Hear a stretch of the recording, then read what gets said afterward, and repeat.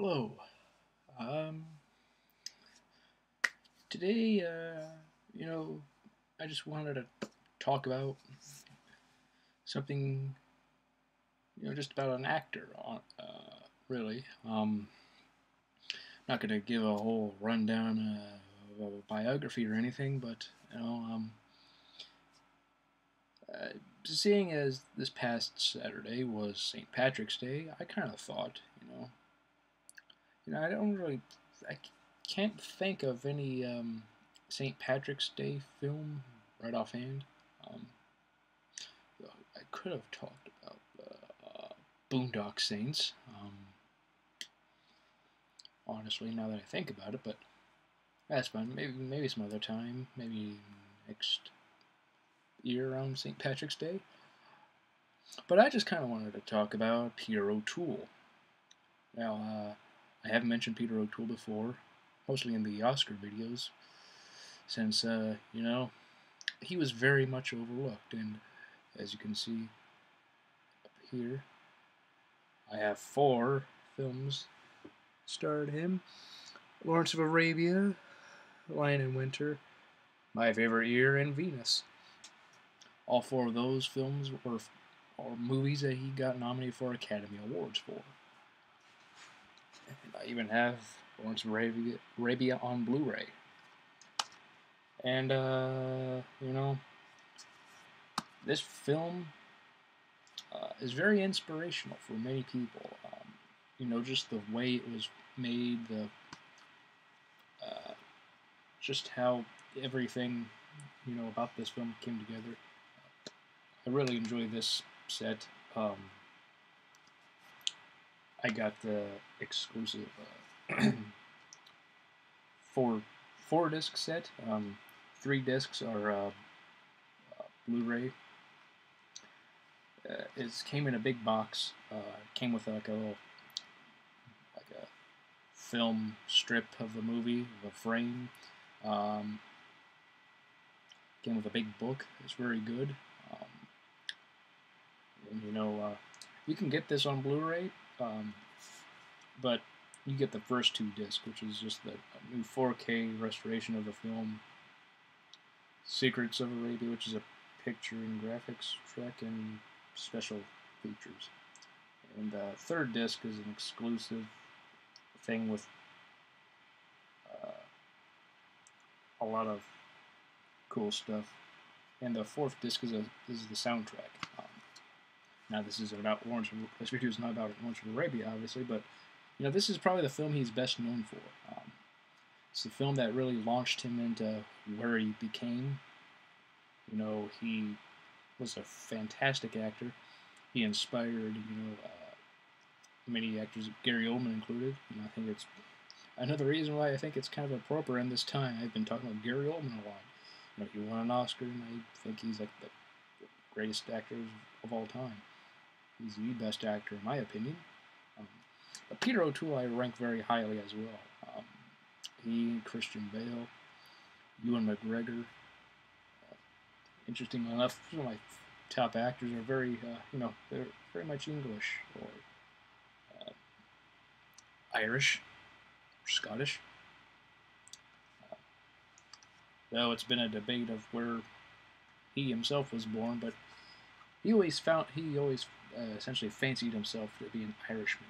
Uh, even if he was born in uh, England, uh, he was uh, very much, you know, he did, he did live in England. He did spend time there. Uh, I recall, very much as a adult, or, or growing up at least, you know, and an adult as well. He lived there for a while. Um, he made movies there. He did stage there if I'm not mistaken. But yeah, he. Uh, I have two other films of his uh, up there Becket and um, The Ruling Class. Yes. Um, and he, in Peter O'Toole, he was yeah, quite the actor. You know, if you've never seen a film by him, you know, Lawrence of Arabia, I would recommend watching. Just, just you know, just as a movie itself, it's just great. Um, and he's phenomenal in it. You know, I actually think uh, his performance as T.E. Lawrence in that in Lawrence of Arabia is the best performance I have ever seen on film. And that's saying something. I've seen many movies. I'm sure you have too. And what the best actor, best performance, you know, uh, that's very subjective. So me saying this does not mean you. If you watch my channel, you enjoy the content or enjoy what I'm saying. Um, you know, I, I just you know I just really enjoy watching. I just enjoyed his performance because when I read up on the real dude, you know, T. Lawrence, he, he, he very well captured what I've read. He captured this mis- mystery about him. You know, people knew T.E. Lawrence, and yet at the same time they didn't know. They knew him, and yet at the same time they didn't. He's kind of he was kind of an enigma, and the film really captures that. Uh, and particularly O'Toole, he really does make you believe. Like, you know, we were with him for like three and a half hours. And, you know, we know him through this period of time, you know, World War One. And yet at the same time, at the end of it, it kind of feels like we kind of don't. There's a lot to him. He's a, he was a very complex dude, guy. And, uh, you know, there's historical stuff, you know, inaccuracies and whatnot, but um, whatever inaccuracies there are, uh, I will say the film is just entertaining. It's a very good film. It's a very masterful film. It's epic in every sense of the word. The performance O'Toole gave was um, just impe- it's just so you know I said phenomenal, but you could say words don't do justice to him or to that performance. And Peter O'Toole was, you know, he was actually just quite the character. You know, he could play larger than life characters like in Lawrence of Arabia or My Favorite Year, which is, which is actually my second favorite film and performance by him. It's just an entertaining film. It's, and a, it's a hilarious film. And, uh, you know, he didn't win the Oscar, but Ben Kingsley for this uh, movie yeah, for that year, uh, he won the Oscar that year. Ben Kingsley did uh, for Gandhi. And um, while I enjoy O'Toole, I just think he's amazing in all he did. You know, even if he was in bad movies, he's one of those actors that, that was like, you know, this movie sucks or it's bad. But Peter O'Toole is good. You know, he was one of those actors. There's just some actors and actresses that are just like that. And I've said that many times on this channel and other videos. But I find it's true. You know, there's so many actors, so many actresses. You know, they give it their all. And they're just, you know, and they're good. You know, perhaps some films, you know, you might not ever rank in a top ten or five list of their best performances, but they're good. Uh, Peter O'Toole was like that as well. Um, you could say for like the movie um, Venus. If you learn about Peter O'Toole, you can and the kind of lifestyle he had. When you hear about his the character's past, and then you kind of see him, it's fairly similar. Um, it's a very fairly similar, uh, you know, uh, kind of character he played. Uh, so you could say maybe could, or make an argument that he was playing himself, which, you know, I don't, I don't see playing yourself or a version of yourself in a way as entirely hard. I know some will always make the case like you have to remember lines and you have to do this and that. You get your craft down for your character. And yeah, I'm not saying it's really easy, but you know, when people try to get into the character, you know, not necessarily going all method and all that, but you know, when trying to, uh, if you don't, maybe not research, but if you when you're trying to nail down the character, you're trying to, you know, get the essence of whoever it is play, playing, you know, if it's essentially kind of yourself, you don't really try. You know, you don't really have to entirely, I guess, like uh, uh, look very far in a way, you know. Because a realization, I'm sure, you know, it kind of like, oh, this sounds like familiar. It's sort of like what I kind of gone through in life, or whatever. So you can draw from inspirations from that, um, as opposed to concocting a character that isn't like yourself, and you're trying to make it your own. Um, I I don't find those kind of characters that some actors play, where it seems like a version of themselves. Very, it doesn't sound like very hard uh, to play. If I had played it, I was if I was in a movie and I was playing a character that was like myself, it wouldn't be all that difficult to play. I don't believe. I mean, yeah, you have to remember lines, you have to do certain things, like uh, characteristics and such. But overall, when you, I guess when you try and look at the character in its core, might not, you know, uh, very uh, hard. The process might not be as interesting. Um, at least to me, you know, I could be wrong but he gave a good performance. He, you know, he that was the last. Venus was the last time he got nominated for an Oscar. Um, he didn't win. Um, and Becket in uh, uh, The Lion in Winter, he played King Henry II, and uh, he was nominated for Oscars both times. Deserved nominations, I think, for in Winter. He should have won. I obviously think he should have won for, uh, you know, Lawrence of Arabia. Uh, he just was that phenomenal in the movie. Uh, Gregory Peck won for To Kill a Mockingbird. Um, but I think part of the reason he won was because he didn't have an Oscar at that time. Uh, and because of that, they kind of want to rectify uh, with Peck. Like, you should have gotten an Oscar before now for any of the movies you were nominated for. Maybe he should have gotten one for a film he wasn't nominated for. So here you go. I could, I think that's had a good hand in that. Um, and also Peter O'Toole was a, that was his debut, uh, essentially, uh, at least to the U.S. I know he did some films before Lawrence of Arabia, but you know, nothing to that, uh, nothing like this. Um, he just played like small parts, small roles, and uh, Lawrence of Arabia was the film that launched him to where he uh, became, and he was such a great actor.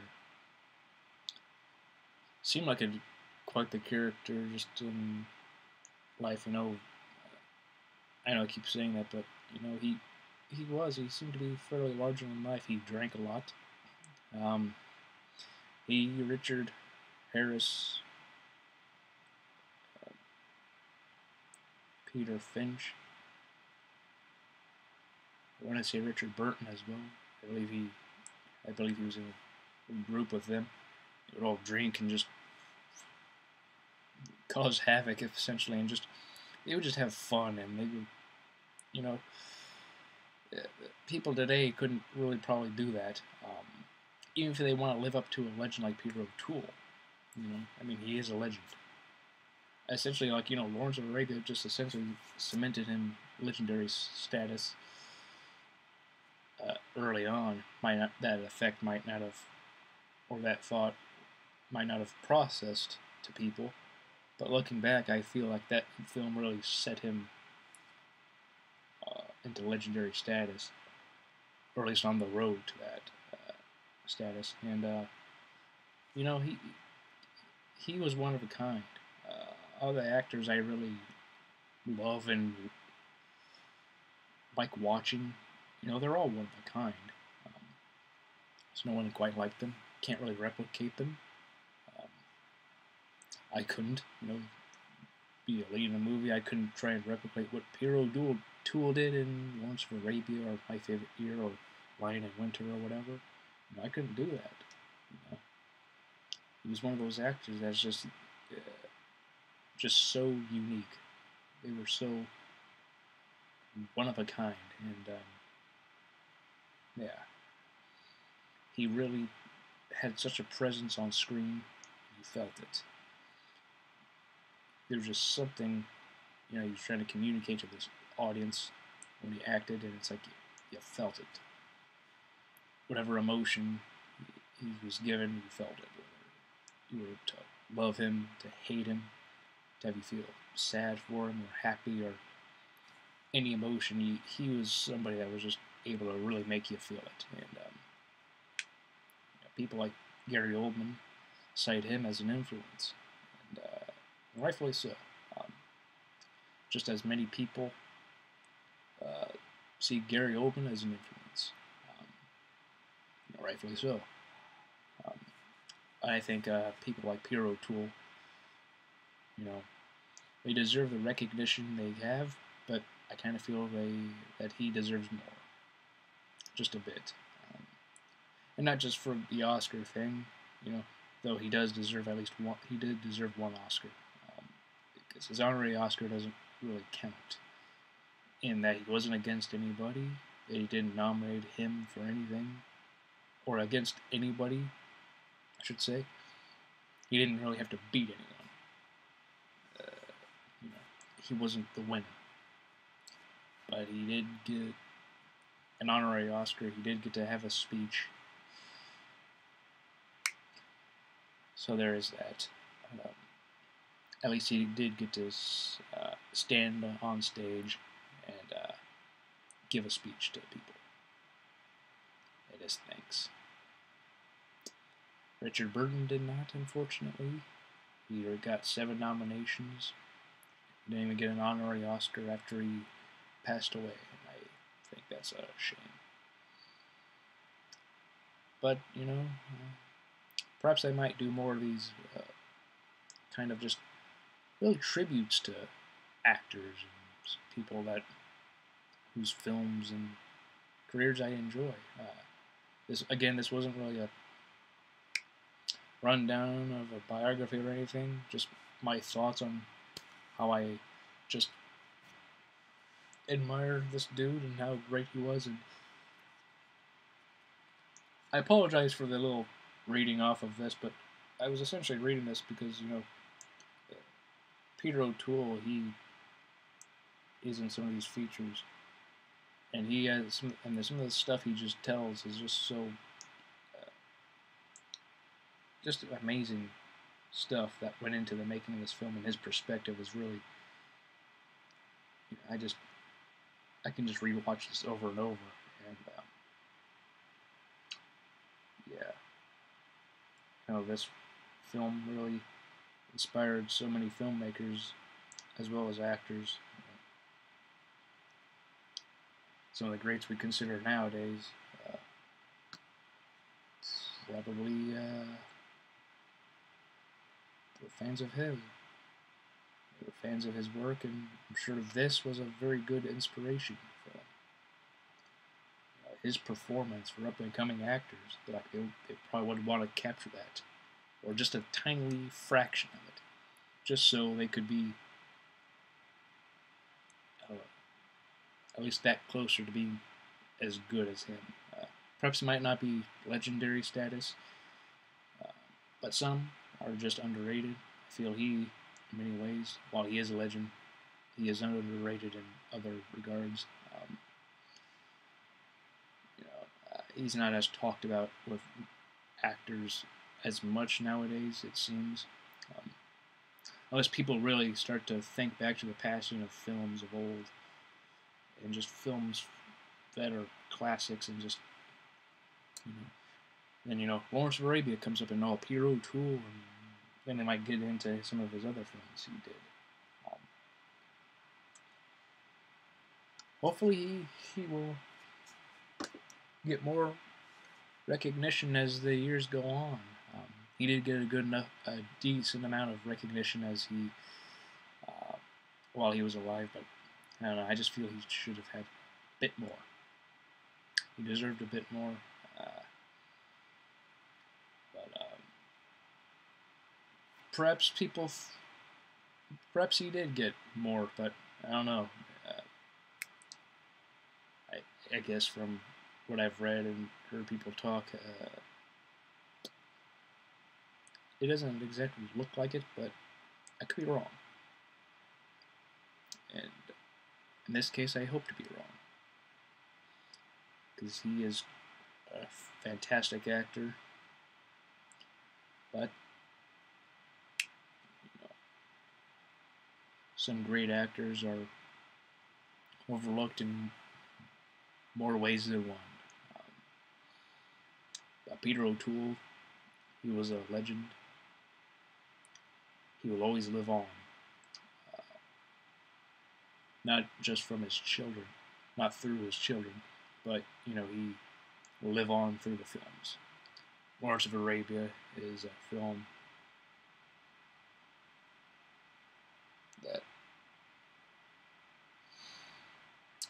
uh, will really be at least the one film he will always be remembered by. And hopefully, people who watch that and see him and just see him on screen want to watch more uh, of the films he was in because they're worth it. You know? I remember watching like a there's like a marathon or something like a TCM or uh, some movie channel years ago. It's about like 13 and just watching Lawrence of Arabia and all these other films. It was like they had like a month of him, like it was like a Peter O'Toole month or something of the sort. And there was just a bunch of movies of him, and I remember watching them, and I was just in awe of the greatness this actor had on screen. And know,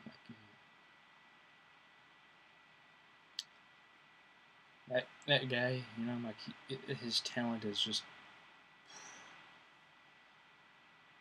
it was unlike no other. And um, yeah, that's really all I have to say. Um, I really love the work of Peter O'Toole I think he's fantastic. He's phenomenal. And, um, yeah. That's all I'll say, because otherwise I'll keep rambling. And, uh, until next time, see you later.